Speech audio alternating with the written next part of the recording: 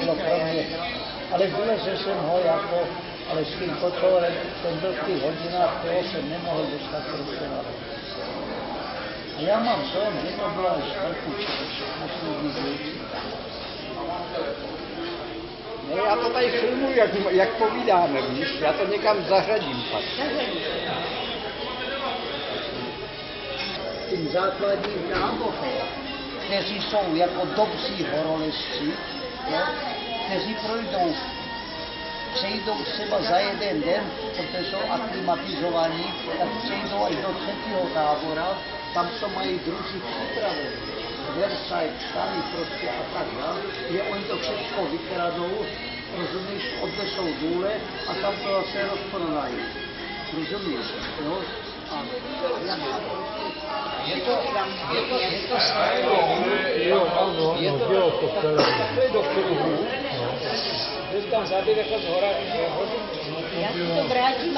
zanesený, oni jako, jako dobrovolníci to vyčistili a udělali si z toho to, co každý tu, horkou a oni si dali pivo, tu plechovku, čili to prohlíželi, ty si to nepamatuješ? Kurva. to jsou věci, které No tak to, to já si pamatuju, to takové pičeliny si pamatuju. A potom, když to otevřeli, tak jim to všecko z toho rozumíš, a měli tam toho, myslím, tolik. Kompletní tráť Cerov Břeclav, Pěšky? Pěšky, všechny koleje, i staniční. To není možný, Franto. To, to nebylo za, za rok nebo to, to bylo několik let.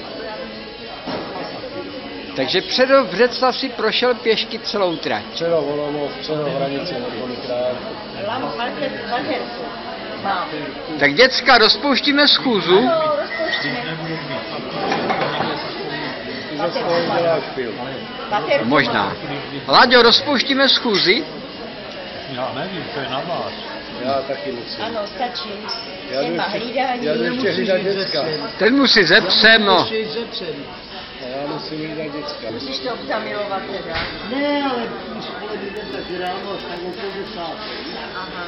Mačku, budeš pozdravovat doma ty Franto, tak. Ale to, A ty taky.